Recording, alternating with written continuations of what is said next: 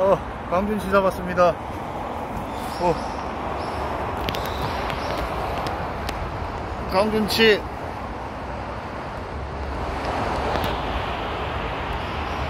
강준치입니다. 유해동물이라서 그냥, 그냥 말려 죽이겠습니다.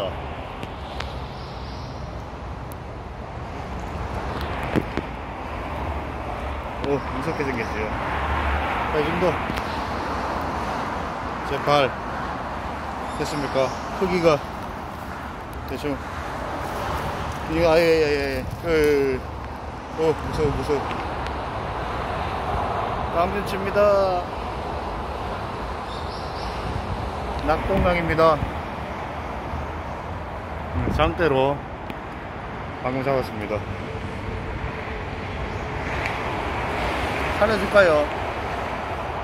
고민되네. 유해동물이라는데.